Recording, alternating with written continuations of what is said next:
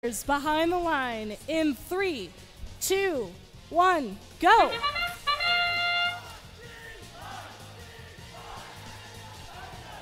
Match number 33 is underway here at the Arizona First East Robotics Regional.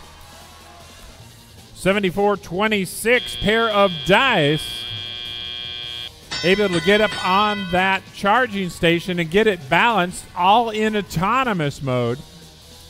Robots running just on code that students have created. Students are now driving the robots. They're teleoperated after the first 15 seconds. Students take control and are driving them wirelessly from their driver's stations.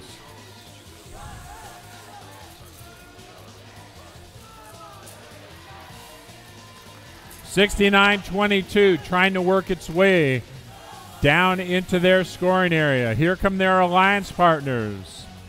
Pair of dice and the Iron Patriots. Over on the blue alliance side of the field is Team Pie moving in to score. Bronco Bots, 991. Looks like they might be playing a little bit of defense there. Or they may be after a cube. Hard crash into the barrier there. 74 26. Think that was Paradise. Iron Patriots now headed back with a game piece, as are Paradise. 56 seconds remaining. Lots of time in this match. 74 26. That's pair of dice trying to get lined up to score down low, and they do. 991. Blue Alliance. Bronco Bots trying to get leveled. 2449 out of orbit. Looks like they're high centered. Not able to make it up.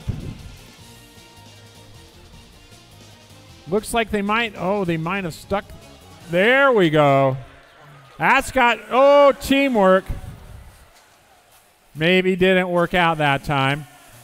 41 35. Along with 69 22. That's Apache Genesis. With the Iron Patriots as time expires in match number 33.